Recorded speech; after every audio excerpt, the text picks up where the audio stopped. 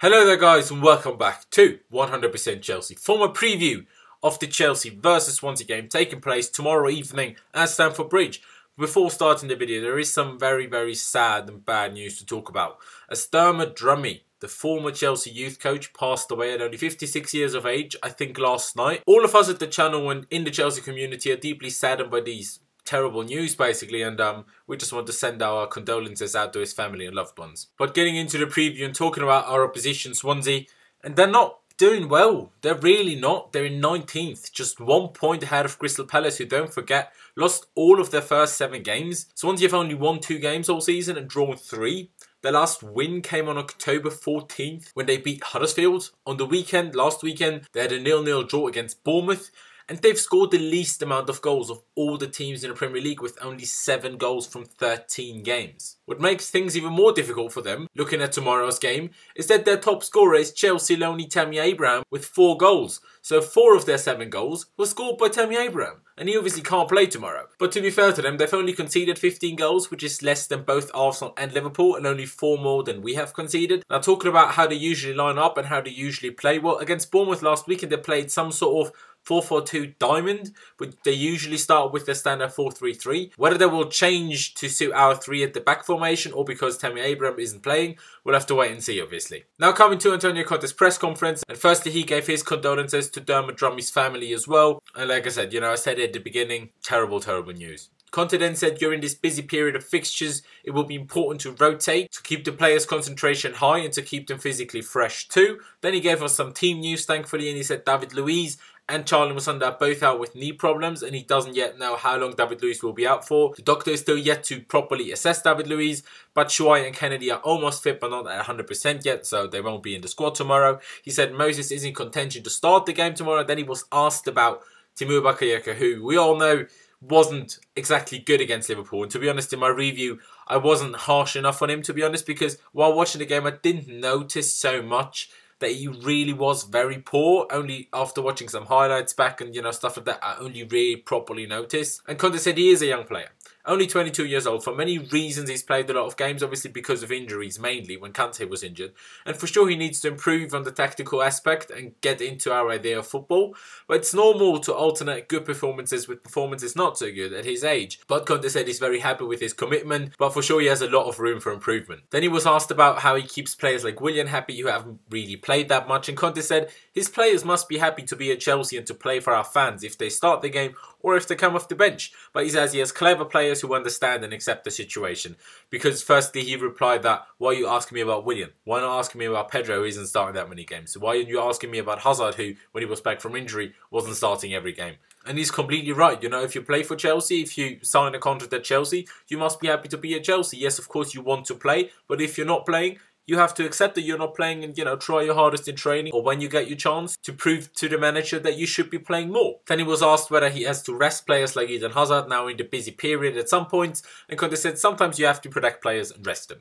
But that's not always possible because sometimes you have to take a risk during a busy period of important difficult games because at the same time as protecting your players and looking at the longer term results, you still have to look at the difficult games right now and still have to get results in those games. So sometimes you have to risk players, sometimes you have to protect players. But that was it from the press conference. Now coming to Chelsea and talking about how I think we will line up, how I think the game will go, and also my score prediction. And right now, we could really do with Michy Batshuayi. I'm not going to lie.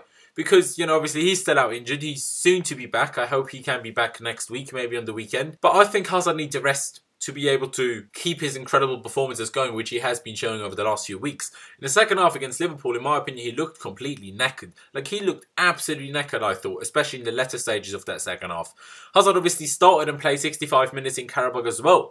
So if we do play a 3-5-2 again tomorrow, I'd even play Willian and Pedro as the two strikers up front and rest Morata as well. But I'm not sure whether Conte will go without both Hazard and Morata. If I'm honest, I'd also like to rest Kante because I really don't want to risk him picking up another injury. You we know how badly that went for us when he was injured obviously a few weeks ago. So I'd maybe try three-man midfield of Danny Drinkwater, Timur Bakayoko and Cesc Fabregas. To be honest, Bakayoko could probably do with the rest as well. But it's way more important for us that Kante is at 100% than Timur Bakayoko. And I'm not sure whether we should and will go with a 3-4-3 and play Drinkwater and Fabregas as the two centre midfielders. I'm not sure whether that's the greatest idea to do, to be honest. Now, as I said, Victor Victor Moses is thankfully in contention to start the game, and I would like to rest Alonso. So I play Zappacosta as the left wing back, where I know he hasn't played for us at all, and neither has he played there all too much during his whole career but he can play there if needed. And I think Alonso desperately needs a rest. Maybe we'll see Azpilicueta starting as the left wing back. Although I think I read somewhere that Azpi started the last 74 games in a row for us. So playing him at wing back, where he has to run more than a centre back, wouldn't be the greatest idea in my opinion. So like I said, I'd play Zappacosta left wing back and Victor Moses the right wing back.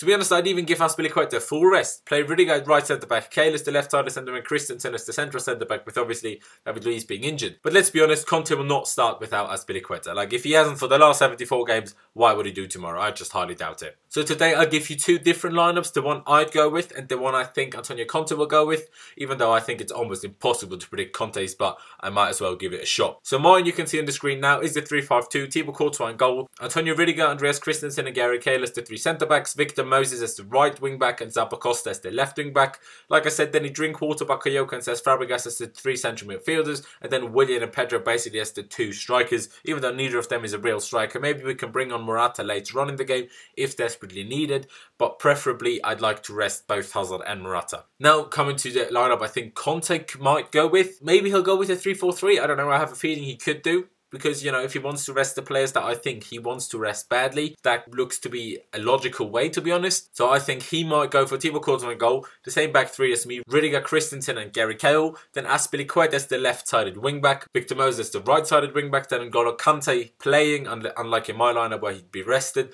next to Cesc Fabregas, and then Pedro and Willian on the wing, and Morata playing as the striker. Obviously in a 3-4-3 the wing-back has to do a little bit less running than in the 3-5-2 I suppose, because the wing-back still has some someone in front of him to do some of the attacking work. So in that formation, playing Azpilicueta as the left wing wouldn't be as bad, I suppose. But yeah, that's what I could see Antonio Conte going with. But like I said, almost impossible to predict. And I'm 99% sure that I'm completely wrong with what I think Conte will go with. But yeah, you know, I told you what I would go with. I told you what I think Antonio Conte will go with. And I mean, we just have to win that game. We're at home. We're up against the worst attack in the league without their only decent attacking player so far this season. Like I said, they haven't conceded anywhere near as many goals as you'd expect from the team that in 19th. So I predict and I expect us to win and be dominant, but I don't think we'll hammer them, especially not if we rotate like I'd hope we do.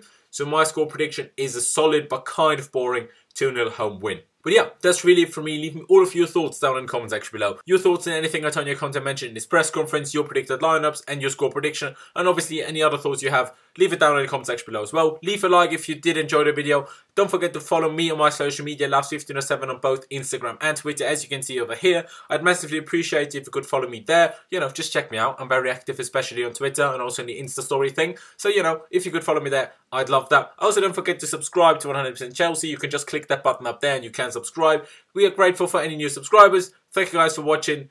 Up the Chelsea. And I'll see you next time.